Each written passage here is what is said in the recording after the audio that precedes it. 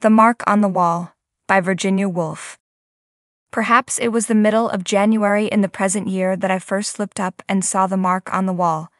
In order to fix a date, it is necessary to remember what one saw. So now I think of the fire, the steady film of yellow light upon the page of my book, the three chrysanthemums in the round glass bowl on the mantelpiece. Yes, it must have been the winter time, and we had just finished our tea, for I remember that I was smoking a cigarette when I looked up and saw the mark on the wall for the first time. I looked up through the smoke of my cigarette, and my eye lodged for a moment upon the burning coals, and that old fancy of the crimson flag flapping from the castle tower came into my mind, and I thought of the cavalcade of red knights riding up the side of the black rock. Rather to my relief, the sight of the mark interrupted the fancy, for it is an old fancy, an automatic fancy, made as a child perhaps. The mark was a small round mark, black upon the white wall, about six or seven inches above the mantelpiece. How readily our thoughts swarm upon a new object, lifting it a little way, as ants carry a blade of straw so feverishly, and then leave it. If that mark was made by a nail, it can't have been for a picture, it must have been for a miniature. The miniature of a lady with white powdered curls, powder dusted cheeks, and lips like red carnations. A fraud, of course, for the people who had this house before us would have chosen pictures in that way, an old picture for an old room. That is the sort of people they were, very interesting people, and I think of them so often in such queer places because one will never see them again, never know what happened next. She wore a flannel dog collar round her throat, and he drew posters for an oatmeal company, and they wanted to leave this house because they wanted to change their style of furniture, so he said, and he was in process of saying that in his opinion art should have ideas behind it when we were torn asunder, as one is torn from the old lady about to pour out tea, and the young man about to hit the tennis ball in the back garden of the suburban villa as one rushes past in the train. But as for that mark, I'm not sure about it. I don't believe it was made by a nail after all. It's too big, too round for that. I might get up, but if I got up and looked at it, ten to one I shouldn't be able to say for certain, because once a thing's done, no one ever knows how it happened. Oh dear me, the mystery of life, the inaccuracy of thought, the ignorance of humanity, to show how very little control of our possessions we have. What an accidental affair this living is after all our civilization. Let me just count over a few of the things lost in one lifetime beginning for that seems always the most mysterious of all loses. What cat would gnaw, what rat would nibble, three pale blue canisters of bookbinding tools. Then there were the bird cages, the iron hoops, the steel skates, the Queen Anne coal scuttle, the bagatelle board, the hand organ, all gone, and jewels too. Opals and emeralds, they lie about the root of turnips. What a scraping paring affair it is to be sure. The wonder is that I have any clothes on my back, that I sit surrounded by solid furniture at this moment. Why, if one wants to compare life to anything, one must liken it to being blown through the tube at 50 miles an hour, landing at the other end without a single hairpin in one's hair, shot out at the feet of God entirely naked, tumbling head over heels in the asphodel meadows like brown paper parcels pitched down a chute in the post office, with one's hair flying back like the tail of a racehorse Yes, that seems to express the rapidity of life, the perpetual waste and repair, all so casual, all so haphazard. But after life, the slow pulling down of thick green stalks so that the cup of the flower as it turns over deluges one with purple and red light. Why, after all, should one not be born there as one is born here, helpless, speechless, unable to focus one's eyesight, groping at the roots of the grass, at the toes of the giants? As for saying which are trees, and which are men and women, or whether there are such things, that one won't be in a condition to do for fifty years or so. There will be nothing but spaces of light and dark, intersected by thick stalks, and rather higher up, perhaps, rose shaped blots of an indistinct color, dim pinks and blues, which will, as time goes on, become more definite, become I don't know what. Perhaps it was the middle of January in the present year that I first looked up and saw the mark on the wall. In order to fix a date, it is necessary to remember what one saw. So now I think of the fire, the steady film of yellow light upon the page of my book, the three chrysanthemums in the round glass bowl on the mantelpiece. Yes, It must have been the winter time, and we had just finished our tea, for I remember that I was smoking a cigarette when I looked up and saw the mark on the wall for the first time. I looked up through the smoke of my cigarette, and my eye lodged for a moment upon the burning coals, and that old fancy of the crimson flag flapping from the castle tower came into my mind, and I thought of the cavalcade of red knights riding up the side of the black rock. Rather to my relief, the sight of the mark interrupted the fancy, for it is an old fancy, an automatic fancy, made as a child perhaps. The mark was a small round mark, black upon the white wall, about six or seven inches above the mantelpiece. How readily our thoughts swarm upon a new object, lifting it a little way, as ants carry a blade of straw so feverishly, and then leave it. If that mark was made by a nail, it can't have been for a picture, it must have been for a miniature, the miniature of a lady with white powdered curls, powder dusted cheeks, and lips like red carnations. A fraud, of course, for the people who had this house before us would have chosen pictures in that way, an old picture for an old room. That is the sort of people they were, very interesting people, and I think of them so often in such queer places because one will never see them again, never know what happened next. She wore a flannel dog collar round her throat, and he drew posters for an oatmeal company, and they wanted to leave this house because they wanted to change their style of furniture, so he said, and he was in process of saying that in his opinion art should have ideas behind it when we were torn asunder as one is torn from the old lady about to pour out tea and the young man about to hit the tennis ball in the back garden of the suburban villa as one rushes past in the train. But as for that mark, I'm not sure about it. I don't believe it was made by a nail after all. It's too big, too round for that. I might get up, but if I got up and looked at it, ten to one I shouldn't be able to say for certain, because once a thing's done, no one ever knows how it happened. Oh dear me, the mystery of life the inaccuracy of thought, the ignorance of humanity, to show how very little control of our possessions we have, what an accidental affair this living is after all our civilization. Let me just count over a few of the things lost in one lifetime, beginning, for that seems always the most mysterious of all loses. What cat would gnaw, what rat would nibble, three pale blue canisters of bookbinding tools. Then there were the bird cages, the iron hoops, the steel skates, the Queen Anne coal scuttle, the bagatelle board, the hand organ, all gone, and jewels too. Opals and emeralds, they lie about the root of turnips. What a scraping paring affair it is to be sure. The wonder is that I have any clothes on my back, that I sit surrounded by solid furniture at this moment. Why, if one wants to compare life to anything, one must liken it to being blown through the tube at 50 miles an hour, landing at the other end without a single hairpin in one's hair, shot out at the feet of God entirely naked, tumbling head over heels in the asphodel meadows like brown paper parcels pitched down a chute in the post office, with one's hair flying back like the tail of a race horse. Yes, that seems to express the rapidity of life, the perpetual waste and repair, all so casual, all so haphazard. But after life, the slow pulling down of thick green stalks so that the cup of the flower as it turns over deluges one with purple and red light. Why, after all, should one not be born there as one is born here, helpless, speechless, unable to focus one's eyesight, groping at the roots of the grass at the toes of the giants? As for saying which are trees and which are men and women, or whether there are such things, that one won't be in a condition to do for fifty years or so there will be nothing but spaces of light and dark, intersected by thick stalks, and rather higher up, perhaps, rose shaped blots of an indistinct color, dim pinks and blues, which will, as time goes on, become more definite, become I don't know what. And yet, that mark on the wall is not a hole at all. It may even be caused by some round black substance, such as a small rose leaf, left over from the summer, and I not being a very vigilant housekeeper.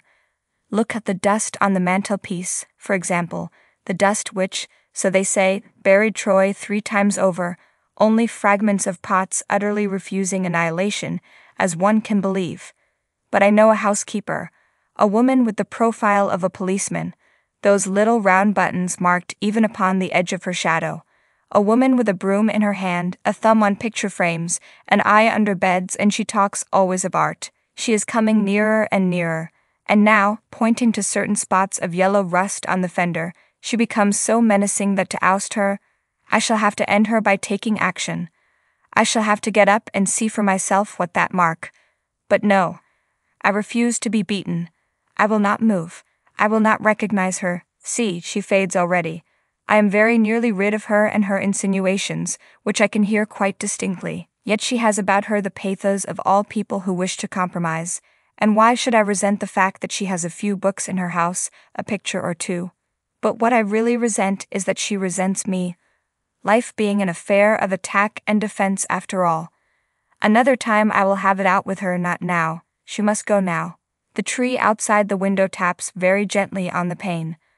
I want to think quietly, calmly, spaciously, never to be interrupted, never to have to rise from my chair, to slip easily from one thing to another, without any sense of hostility or obstacle. I want to sink deeper and deeper, away from the surface with its hard separate facts, to steady myself. Let me catch hold of the first idea that passes Shakespeare, well, he will do as well as another. A man who sat himself solidly in an armchair and looked into the fire, so. A shower of ideas fell perpetually from some very high heaven down through his mind. He leaned his forehead on his hand, and people looking in through the open door, for this scene is supposed to take place on a summer's evening. But how dull this is, this historical fiction, it doesn't interest me at all. I wish I could hit upon a pleasant track of thought, a track indirectly reflecting credit upon myself, for those are the pleasantest thoughts, and very frequent even in the minds of modest mouse colored people, who believe genuinely that they dislike to hear their own praises. They are not thoughts directly praising oneself. That is the beauty of them, they are thoughts like this. And then I came into the room. They were discussing botany. I said how I'd seen a flower growing on a dust heap on the site of an old house in Kingsway. The seed, I said, must have been sown in the reign of Charles the First. What flowers grew in the reign of Charles the First? I asked. But I don't remember the answer. Tall flowers with purple tassels to them, perhaps, and so it goes on. All the time I'm dressing up the figure of myself in my own mind lovingly, stealthily, not openly adoring it, for if I did that, I should catch myself out, and stretch my hand at once for a book in self protection, Indeed, it is curious how instinctively one protects the image of oneself from idolatry or any other handling that could make it ridiculous, or too unlike the original to be believed in any longer. Or is it not so very curious after all? It is a matter of great importance. Suppose the looking glass smashes, the image disappears, and the romantic figure with the green of forest depths all about it is there no longer, but only that shell of a person which is seen by other people what an airless, shallow, bald, prominent world it becomes. A world not to be lived in. As we face each other in omnibuses and underground railways, we are looking into the mirror. That accounts for the expression in our vague and almost glassy eyes, and the novelists in future will realize more and more the importance of these reflections, for of course there is not one reflection but an almost infinite number. Those are the depths they will explore, those the phantoms they will pursue, leaving the description of reality more and more out of their stories, taking a knowledge of it for granted, as the Greeks did and Shakespeare perhaps, but these generalizations are very worthless. The military sound of the word is enough. It recalls leading articles, cabinet ministers, a whole class of things indeed which as a child one thought the thing itself, the standard thing, the real thing from which one could not depart save at the risk of nameless damnation.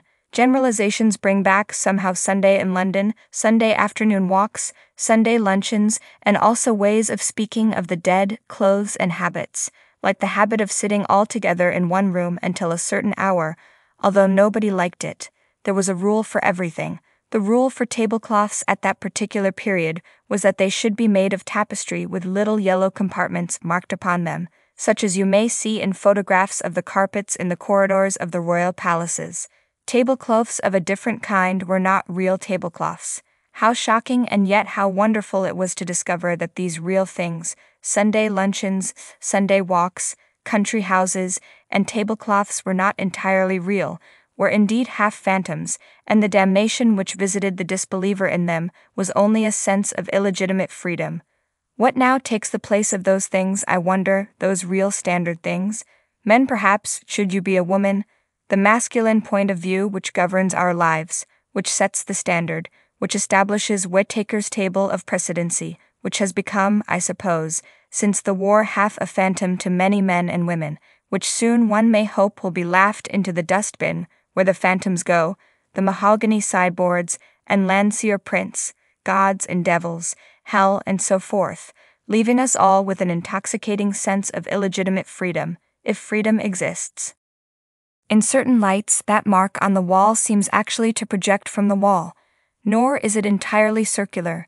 I cannot be sure, but it seems to cast a perceptible shadow, suggesting that if I ran my finger down that strip of the wall, it would at a certain point mount and descend a small tumulus, a smooth tumulus like those barrows on the South Downs, which are, they say, either tombs or camps. Of the two, I should prefer them to be tombs, desiring melancholy like most English people, and finding it natural at the end of a walk to think of the bones stretched beneath the turf. There must be some book about it. Some antiquary must have dug up those bones and given them a name. What sort of man is an antiquary, I wonder? Retired colonels, for the most part, I dare say, leading parties of aged laborers to the top here, examining clods of earth and stone and getting into correspondence with the neighboring clergy, which being opened at breakfast time gives them a feeling of importance, and the comparison of arrowheads necessitates cross country journeys to the county towns, an agreeable necessity both to them and to their elderly wives, who wish to make plum jam or to clean out the study, and have every reason for keeping that great question of the camp or the tomb in perpetual suspension while the colonel himself feels agreeably philosophic in accumulating evidence on both sides of the question. It is true that he does finally incline to believe in the camp, and being opposed, casts all his arrowheads into one scale, and being still further opposed, indites a pamphlet which he is about to read at the quarterly meeting of the local society when a stroke lays him low, and his last conscious thoughts are not of wire or child, but of the camp and that arrowhead there which is now in the case at the local museum, together with the hand of a Chinese murderess, a handful of Elizabethan nails, a great many Tudor clay pipes, a piece of Roman pottery, and the wine glass that Nelson drank out of, proving I really don't know what. No, no, nothing is proved, nothing is known. And if I were to get up at this very moment and ascertain that the mark on the wall is really, what shall we say, the head of a gigantic old male, driven in 200 years ago, which has now, owing to the patient attrition of many generations of housemaids, revealed its head above the coat of paint, and is taking its first view of modern life in the sight of a white walled firelit room, what should I gain? Knowledge? Matter for further speculation? I can think sitting still as well as standing up. And what is knowledge? What are our learned men save the descendants of witches and hermits who crouched in caves and in woods brewing herbs? interrogating shrew mice, and writing down the language of the stars, and the less we honor them as our superstitions dwindle and our respect for beauty and health of mind increases. Yes, one could imagine a very pleasant world, a quiet, spacious world with the flowers so red and blue in the open fields. A world without professors or specialists or housekeepers, with the profiles of policemen, a world which one could slice with one's thought as a fish slices the water with his fin, grazing the stems of the water lilies and hanging suspended over nests of white sea eggs.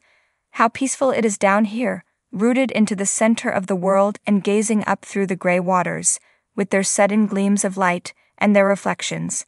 If it were not for Whitaker's almanac, if it were not for the table of precedency, I must jump up and see for myself what that mark on the wall really is a nail, a rose leaf, a crack in the wood. Here is nature once more at her old game of self preservation. This train of thought, she perceives, is threatening mere waste of energy, even some collision with reality, for who will ever be able to lift a finger against Whitaker's table of precedency? The Archbishop of Canterbury is followed by the Lord High Chancellor. The Lord High Chancellor is followed by the Archbishop of York. Everybody follows somebody, such is the philosophy of Whitaker. And the great thing is to know who follows whom. Whitaker knows, and let that, so nature counsels, comfort you instead of enraging you. And if you can't be comforted, if you must shatter this hour of peace, think of the mark on the wall. I understand nature's game. her prompting to take action as a way of ending any thought that threatens to excite or to pain. Hence, I suppose, comes our slight contempt for men of action, men, we assume, who don't think. Still, there's no harm in putting a full stop to one's disagreeable thoughts by looking at a mark on the wall. Indeed, now that I have fixed my eyes upon it, I feel I have grasped a plank in the sea. I feel a satisfying sense of reality which at once turns the two archbishops and the Lord High Chancellor to the shadows of shades. Here is something definite, something real. Thus, waking from a midnight dream of horror, one hastily turns on the light and lies quiescent, worshipping the chest of drawers, worshipping solidity, worshipping reality, worshipping the impersonal world which is a proof of some existence other than ours. That is what one wants to be sure of. Wood is a pleasant thing to think about. It comes from a tree, and trees grow, and we don't know how they grow. For years and years they grow without paying any attention to us, in meadows, in forests, and by the side of rivers. All things one likes to think about. The cows swish their tails beneath them on hot afternoons, they paint rivers so green that when a moor hen dives, one expects to see its feathers all green when it comes up again. I like to think of the fish balanced against the stream like flags blown out, and of water beetles slowly raising domes of mud upon the bed of the river. I like to think of the tree itself, first the close dry sensation of being wood, then there is the grinding of the storm, then the slow, delicious ooze of sap, I like to think of it too on winter's nights, standing in the empty field with all leaves close furled, nothing tender exposed to the iron bullets of the moon, a naked mast upon an earth that goes tumbling, tumbling all night long. The song of birds must sound very loud and strange in June, and how cold the feet of insects must feel upon it, as they make laborious progresses up the creases of the bark, or sun themselves upon the thin green awning of the leaves, and look straight in front of them with huge diamond cut red eyes. One by one, the fibers snap beneath the immense cold pressure of the earth. Then the last storm comes, and falling, the highest branches drive deep into the ground again. Even so, life isn't done with. There are a million patient, watchful lives still for a tree, all over the world, in bedrooms, in ships, on the pavement, lining rooms where men and women sit after tea smoking their cigarettes. It is full of peaceful thoughts, happy thoughts, this tree. I should like to take each one separately, but something is getting in the way. Where was I? What has it all been about? A tree? A river? The downs, Whitaker's almanac, the fields of asphodel? I can't remember a thing. Everything's moving, falling, slipping, vanishing. There is a vast upheaval of matter. Someone is standing over me and saying, I'm going out to buy a newspaper. Yes. Though it's no good, buying newspapers. Nothing ever happens. Curse this war. God damn this war. All the same, I don't see why we should have a snail on our wall. Ah, the mark on the wall, for it was a snail.